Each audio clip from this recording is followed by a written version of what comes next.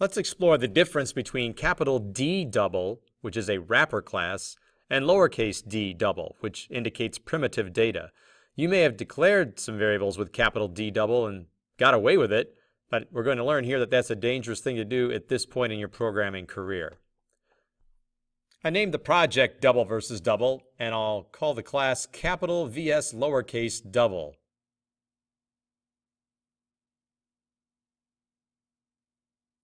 And that's the main thing we're going to learn.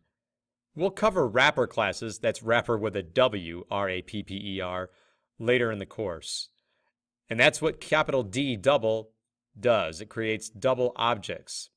And lowercase d is primitive data, which I started to spell correctly, and oh, I apologize. Primitive should be all i's. There's no a in primitive data. I'm sorry that that stayed that way through the rest of the program.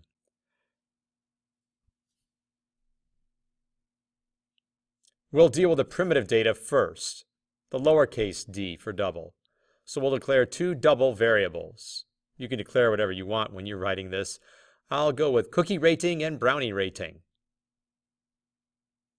And I'll give them the same values, 4.8. Hopefully it's on a scale going up to 5, because that would make them pretty tasty. I'll display the values just to confirm that they are the same values.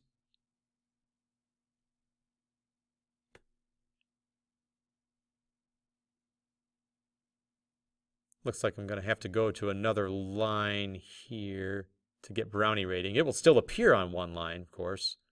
Just not enough room on my display to write one line of code in one line. Long sentence.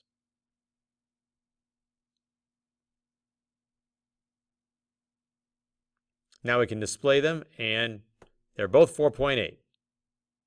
So it appears they are the same. If I create an if to compare them, you would think it would come out true that they are equivalent. So I'll set up an if. If cookie rating double equals, remember, brownie rating, then I'll display a message that they are equivalent values.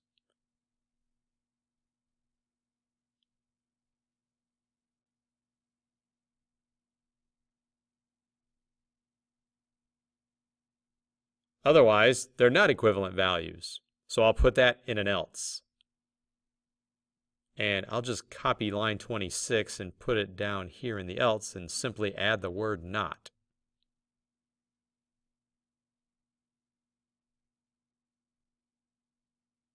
Then we'll run it to see what happens. They are listed as equivalent values. Cookie rating did double equals brownie rating because with primitive data, the double equal sign checks for equivalence. But when we use capital D double to declare things, we're actually creating objects. So I'll create two double objects, taco rating and burrito rating. I will give them the same numeric values. I'll give the taco rating a 4.3 and the same for a burrito rating.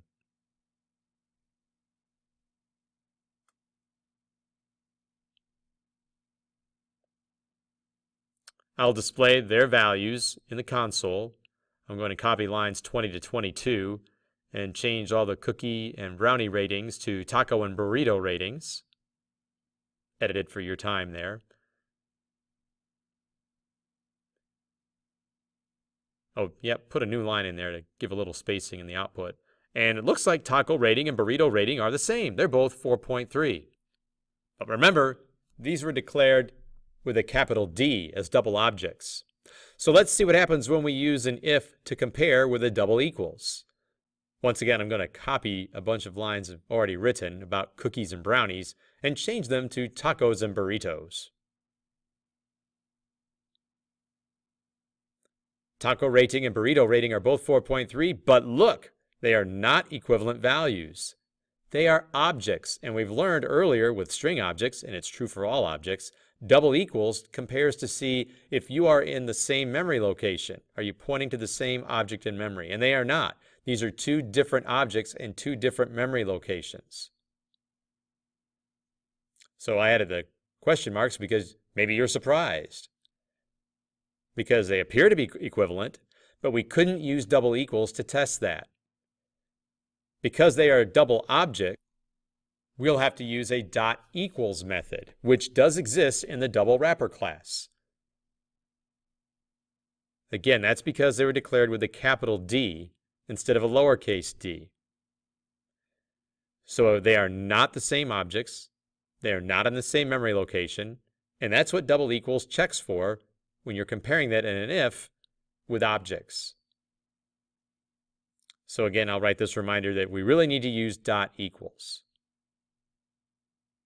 if we were to declare doubles with capital D.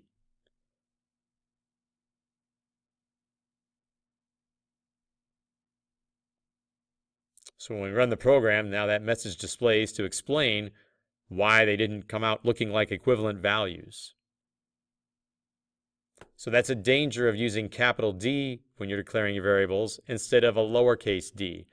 And as I said earlier, at this point in your programming career, you want to stick with lowercase d. We'll get to the capital D stuff later in the course.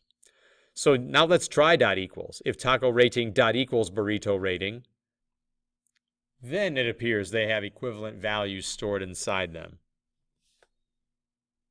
Technically, they are equivalent objects.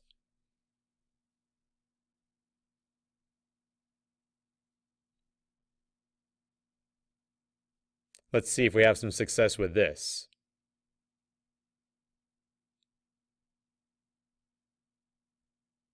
There, because they were declared with capital D, we had to use dot equals, which you probably wouldn't think of if you were assuming that using a capital D for double was the same as lowercase. Lowercase double, primitive data, and primitive data can be compared with a double equals sign. A capital D double is the wrapper class. Classes create objects, and double equal signs there look to see if you're in the same memory location with the same object.